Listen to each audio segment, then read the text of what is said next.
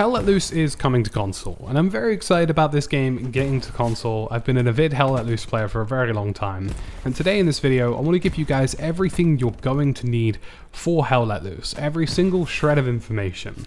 It's going to be a bit of a long journey and there are going to be chapters down below so you can jump in between different bits of information. But if you find this helpful, please do leave a like and subscribe. I'm on the road to 100,000 subscribers and it means a lot to me. Hell Let Loose is arguably the first hardcore open scale shooter to come to console, and it's a very different game. It's hardcore, it's gritty, the time to kill is very fast, and when the combat gets thick and fast, things can get intense very quickly. But because it's such a different experience, there's a lot you need to know in order to be successful in the game, and that's exactly what we're going to go through today. We're going to talk about the game setup and how things work, we're going to talk about roles, teamwork, movement, combat, and vehicles. Everything you need to know to be successful successful in Hell Let Loose. And there's a lot of stuff here that might not seem obvious, but is very important. Even something like combat isn't simply a case of aim, point, click, bang. It really doesn't work like that in Hell Let Loose, and the systems can be very intricate. To start with, we're going over the game setup. Hell Let Loose has multiple modes, but all of them focus on a simple principle of attacking or defending objectives, or having to do both at the same time. Primarily, Hell Let Loose is split into two game modes, offensive and warfare. Offensive is an invasion style game mode where one faction has to attack and another faction has to defend. If the attacking faction captures the sector, then you get pushed back to the next sector. It's a little bit like Rush if you've played that in Battlefield, except it's capture points and not MCOMs or anything of that variety, and very reminiscent of the breakthrough mode if you've played Battlefield as well. Fundamentally, there is a front line, and you have to defend those two objectives or one objective on that point, and if you don't, you get pushed back. If you're attacking, your job is to get into these points, get as many spawns down as possible, and try and overwhelm the objective and take it from them. The Warfare game mode is a standard version of Conquest in Battlefield if you've played that, and it's simple. You either attack or defend, your squad could be a defending squad looking after the objectives you already have, or your squad could be the attacking squad taking care of objectives that are in the way. But fundamentally the difference with Warfare from traditional Conquest modes that you've seen in other games is that there is still a front line. There is only one objective to attack and one objective to defend, or two objectives to attack and two objectives to defend. You'll never have a scenario where you could be capturing eight or more objectives randomly throughout the game. There is still a very stable and strong front line, and frontline combat does exist. Overarching the warfare mode and the offensive mode is a chain of command and a teamwork system that is a requirement for you winning the game. There are individual squad leaders and there's even a commander for each individual team. And these squad leaders and commanders have to work together to ensure that certain things happen in the map. For example, they might coordinate to make sure that tanks are taking out other tanks. They might coordinate to send artillery to certain locations. But critically and most importantly, they coordinate the supply chain in the game. The supply chain in Hell Let Loose is resources that can be used for certain things. You can specifically get supplies in-game to build spawn points, such as garrisons, and squad leaders also have their own backup version of a garrison that only their squad can spawn on, which is a rally point. But garrisons are fundamental to winning the game. If you don't have garrisons, you don't have places for your team to spawn. If you don't have places for your team to spawn and they get killed, then you're going to lose the objective. Garrisons can be placed with adequate supplies in the area, and they can be destroyed by simply moving up to the point and interacting with it. And they're very difficult to destroy because you have to get through swaves of enemies to get there, but once you get them, you take out a very quintessential part of the enemy team. There are three ways to get supplies in Hell Let Loose the most important ones being logistics and supply players. Now, logistics are logistics trucks that spawn at base that can drop off supplies to any given location. They just have to drive them there, interact with the truck, drop them off, and squad leaders can build the garrisons they need. The supply role is an actual role within individual squads, and every once in a while supply guys get rearmed with supplies that they can drop for squad leaders to build garrisons as well.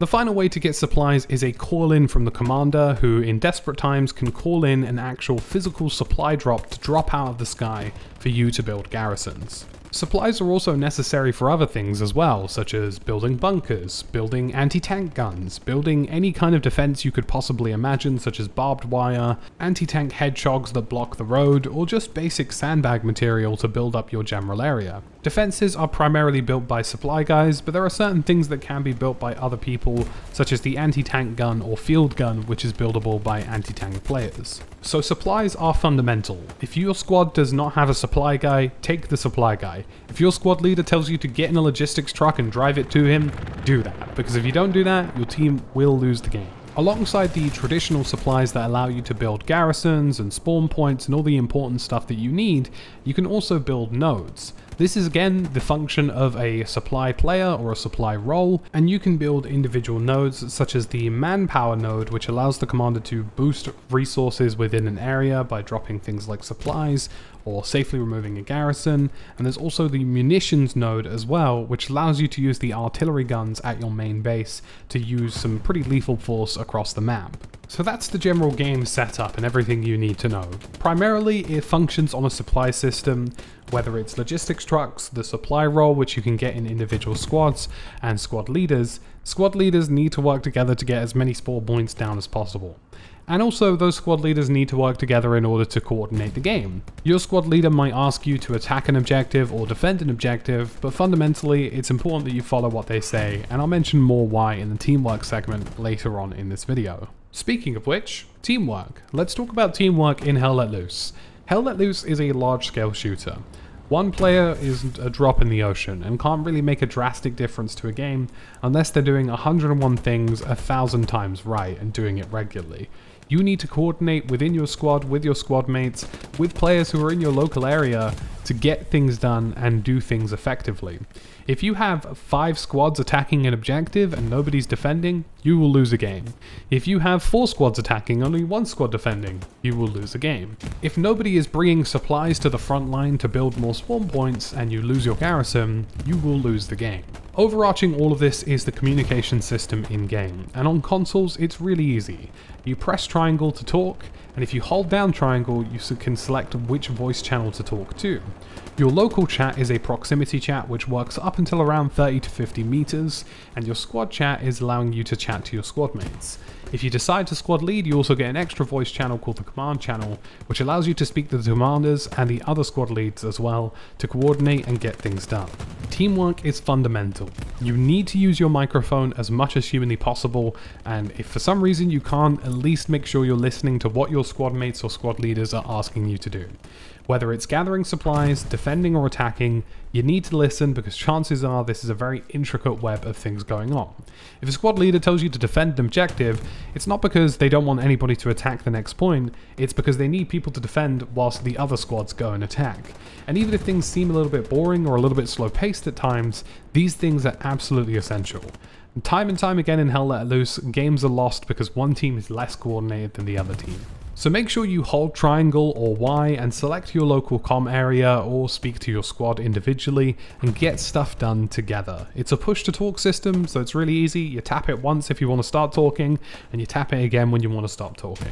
Teamwork in Hell Let Loose is absolutely essential and you can have some really fun moments just by chatting to the random guy next to you who's laying in a ditch. He might not even be in your squad, but you can work together and try and beat the odds against you.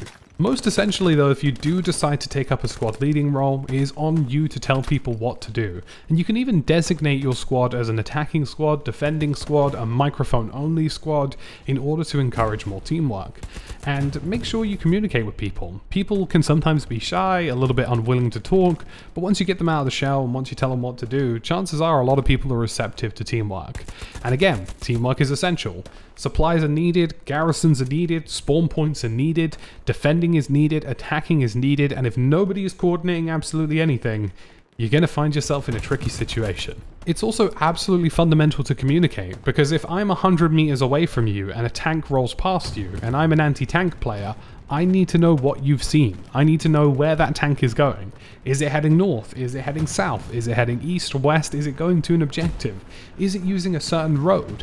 If you relay that kind of important information, you can help your teammates. And if you spot a squad coming towards your objective that somebody else hasn't seen or other people haven't noticed, you can alert your entire squad mates or anybody in the local area really to go to that point and defend that area. My highest record of anti-tank kills and taking out vehicles is 11. I took out 11 tanks in a single game. And that was only possible because I had lots of people relaying information to me at the same time. Hell, even the commander was telling me where things were happening. Next up, let's talk about the roles in Hell Let Loose. And there are lots of different roles, and some of them are more important than others, and some of them you should avoid until you get a bit of practice with it. Or if you want to use it, try and learn from video guides or guides that you see online before you really dive into it. There are certain roles like the anti-tank class, which is very effective for winning or losing games, and if you don't know how to use the rocket launcher, then you might be in a little bit of trouble. The most important role is the commander. The commander pretty much oversees the entire game, speaks to squad leaders, tells them what to do, speaks to the armor divisions, tells the tanks where to go, and speaks to the recon divisions. They are the people that oversee and coordinate everything. Everybody speaks to them, and they speak to everybody. If squad leaders tell you that there is a tank in a certain part of the map, it's the commander's job to then tell the armor division that there is a tank over there in that part of the map, go blow it up. You won't see a lot of action as a commander, and you're kind of more of a communications point, so choose this role wisely if you like a little bit of leadership and a little bit of responsibility. Moving on, we have the squad leader who oversees the entire infantry squad. They tell the squad what to do. If there's a commander, the commander will tell the squad leader what they want them to do and they will relay that information. But a squad leader is important because they can place garrisons which are the main spawn points using supplies. They also have the ability to place a rally point or an outpost, which is a backup spawn point that can only be used by your squad mates. But ultimately, as a squad leader, you got to tell people what to do. You got to tell people what you want them to be doing, and relay information to each other. You know, get people talking. It's your job, kind of, to get people communicating. Tell an anti-tank player what you want them to do. Hunt vehicles, defend an objective. Tell a machine gunner where you want them, etc., etc. Next, we have the standard rifleman, the assault player, and the automatic rifleman. Rifleman, assault players, and automatic riflemen are pretty much the same thing with different loadouts. Riflemen basically have individual bolt-action rifles or semi-automatic rifles, but most importantly they have ammunition. They place ammo, they can get anti-tank players rearmed, they can get people who are using machine guns rearmed, and can use their ammo very effectively. Otherwise they are just a standard infantry grunt. Likewise with the assault player and the automatic rifleman, they have assault rifles, automatic rifles or SMGs that can be used to push the front line, clear trenches or be more effective in the field. They also traditionally have smoke grenades as well, super handy for making sure that you can move from position to position. Next up is the medic. Medic is very simple, they come with morphine syrettes, smoke grenades and bandages. They can bandage themselves quite frequently, they can revive other players who've already been taken out, and use smoke grenades to cover their approach and make sure that they can revive players.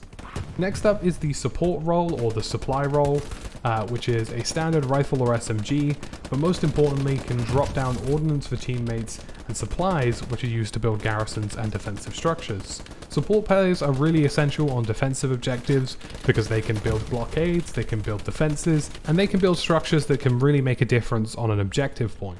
Next up, we have the Engineer, and the Engineer has a wrench, a hammer, a blowtorch, anti-personnel mines, and anti-tank mines. They can also even carry a high explosive satchel charge, depending on the level of your Engineer.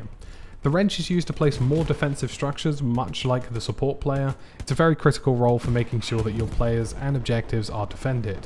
The engineer role can also place resource nodes, and they have a hammer to build structures with and a blowtorch to repair tanks. So critically important stuff, and the satchel charge can be really lethal. It can take out entire positions, destroy enemy spawn points, and definitely ruin some enemy vehicles. Most of them tend to have a timed fuse. Next up is the machine gunner, really simple. Spray and pray, big machine gun goes burr, not really much that needs to be said on that front. You also have the anti-tank player, the anti-tank player can have a bazooka or Panzer Panzerschreck, and anti-tank role on the Russian faction actually comes with an anti-material rifle. Aim for the rear of the tank and you will do damage. Do not at any given point as an anti-tank player shoot the front of the tank, you will be wasting your ammo.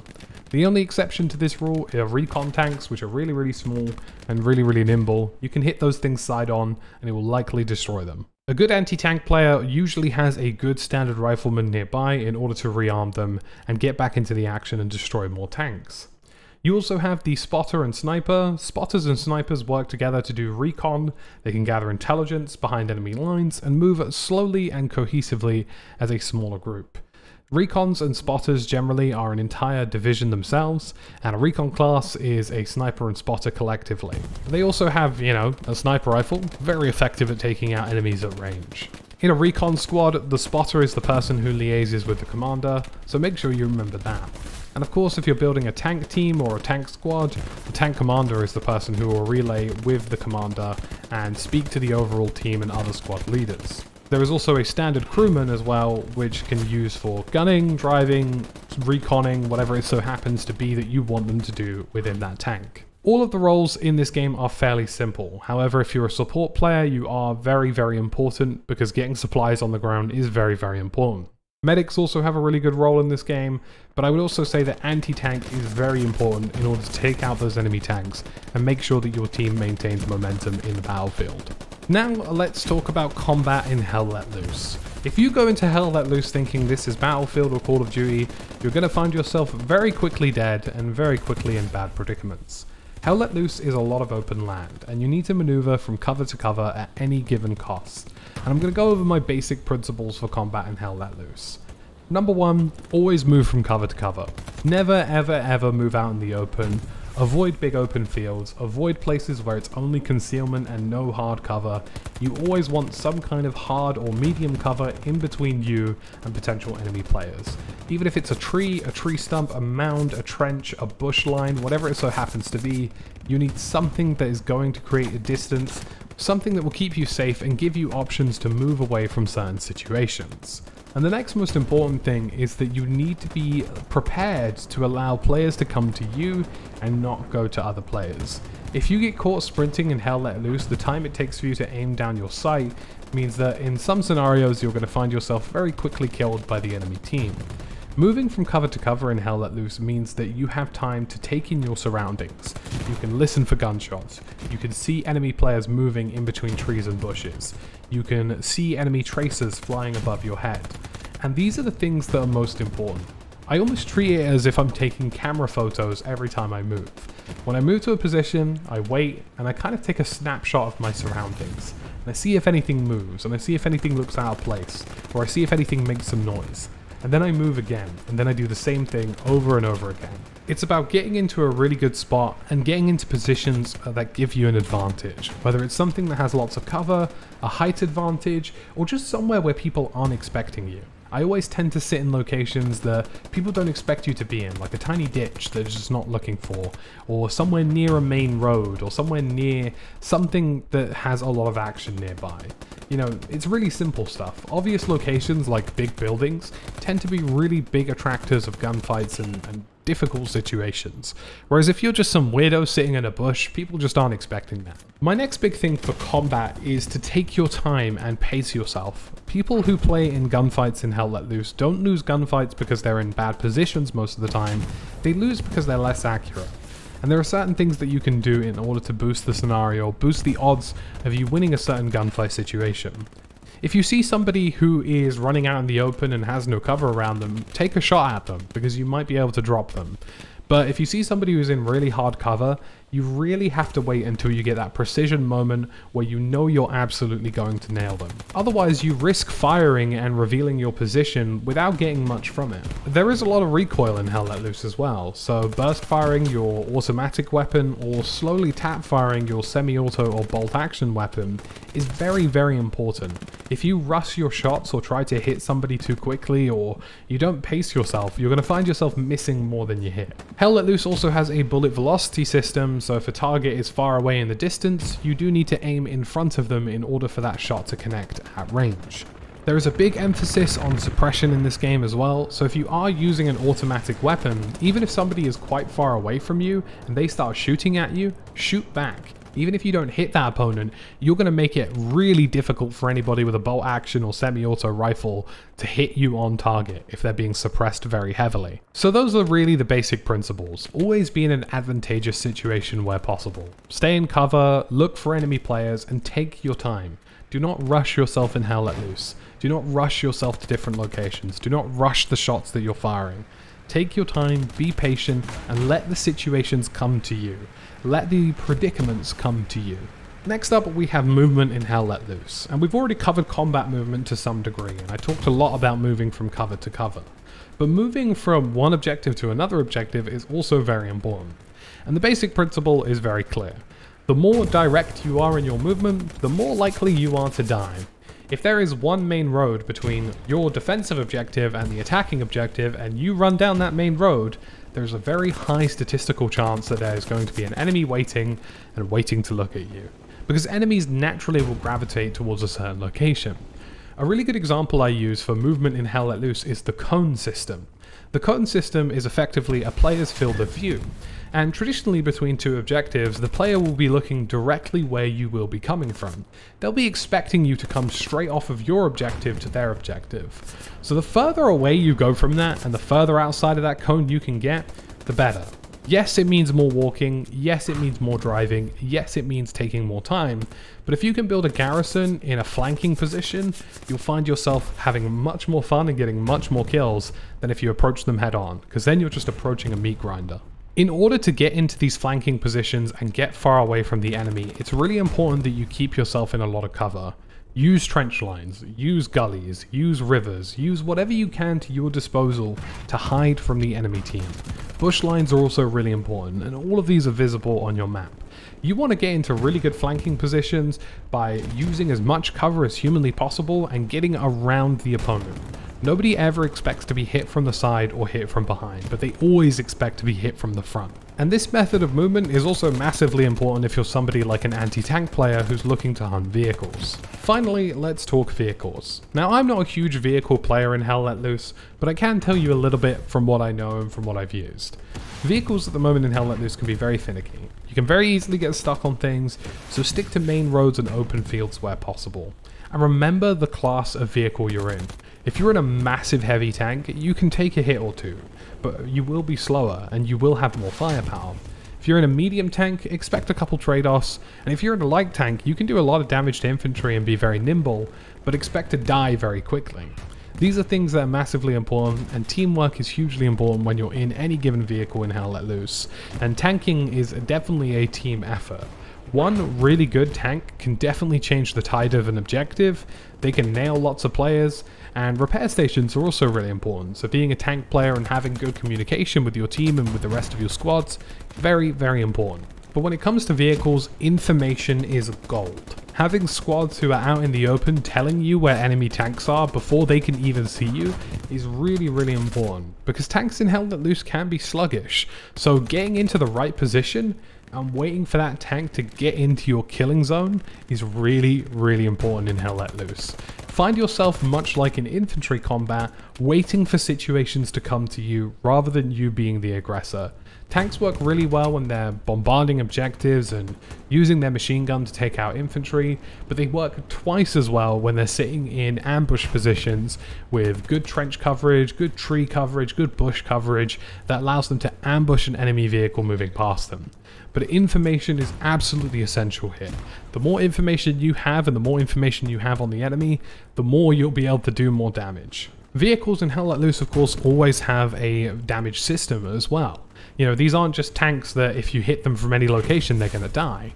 They have full-blown armor systems. Your front armor is your best armor, and it will keep you the safest from tank shells, infantry firing AT, and everything in between. But if a tank gets around you, or an AT hits you from the rear, your engine, your tracks, and everything is at risk. Most tanks can survive maybe one or two hits from the rear at best. Your side is also a semi-weak point, but your front armor is most important. So folks, that's absolutely everything I have for Hell Let Loose on console, and feel free to go back and ask me questions in the comment section if you need more clarification on certain things. I'll be posting more tips and tricks for Hell Let Loose in the coming weeks as the console versions continue to release and people continue to get involved, and again, if you have any tips or any suggestions or things you want to see, let me know and I'll try and answer it. If this has helped, please like, please subscribe, and I'll catch you again in the next one.